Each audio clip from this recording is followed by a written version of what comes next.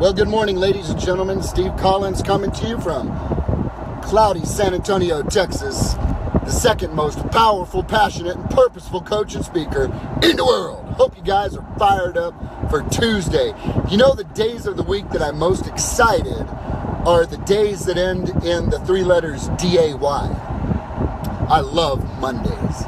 Man, I love Tuesdays. I love Wednesdays. I love Thursdays. I love Fridays. I love Saturdays. I love Sundays, man.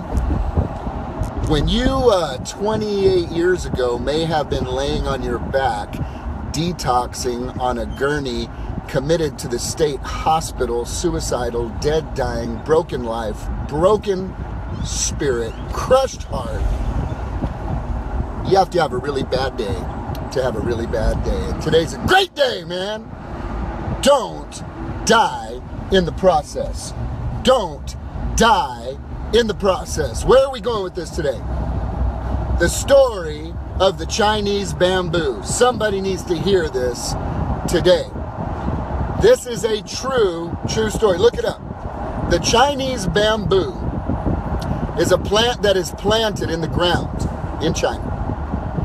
And it must be watered and fertilized every single day.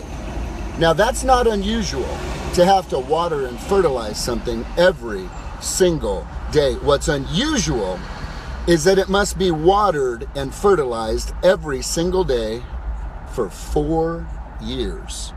Four years watered and fertilized, watered and fertilized. And what makes it a challenge is that you don't see it. It never breaks the surface of the ground. Never breaks the surface. For four years, you are watering and fertilizing by faith, believing, knowing, understanding that it will come. Now, get this in the beginning of spring of the fifth year, it grows 90, 90, 90 feet in five weeks. 90 feet in five weeks after watering, fertilizing, watering, fertilizing, watering, fertilizing. You see nothing. It's under the surface. You see nothing for almost five years. And then it grows 90 feet in five weeks. What is my point? If at any time during the process, the protectors and the farmers and the producers of these Chinese bamboos, if at any time during the process they had stopped for even a day, the bamboo would have died. It would have died. Every day, every day, every day. Jim Rohn says eating seven apples on Sunday is not the same as eating an apple a day. In the process, it's going to be hard. In the process, it's going to be challenging. In the process, you're going to lose sleep. In the process, you're going to have nights that you cry hot tears on your pillow.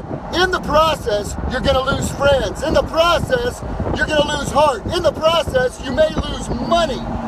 You may lose hope. You may lose faith. Don't die in the process. You must keep watering and you must keep fertilizing your dream. You must water and fertilize your dream day after day after day. Do you know what's happening during those almost five years? Let me tell you what's happening during that time. The root system is growing. The root system is growing to be able to handle the tsunami, gale force, hurricane type winds that are common in that region of the world. If it grew quick in a short period of time, the first heavy winds, the first massive resistance would knock it over. But it is the process of daily watering, the process of daily fertilizing, the process of daily sowing that causes that root system to go deep and go wide so that when it does show up 90 feet tall, then people wonder where did that come from? It is unshakable. Don't die in the middle of the process. Water your dream, fertilize your dream. If you shoot up overnight, baby, you're going down at the first heavy storm. Trust, have faith in the process. Trust, Have faith in God that the timing is more important than you can see. He could stop in his power what he allows in his sovereignty. Trust the timing. Trust the watering. Trust the fertilizing. You will reap if you do not die in the process. You could be three feet from acres of diamonds. Don't quit. Don't give up.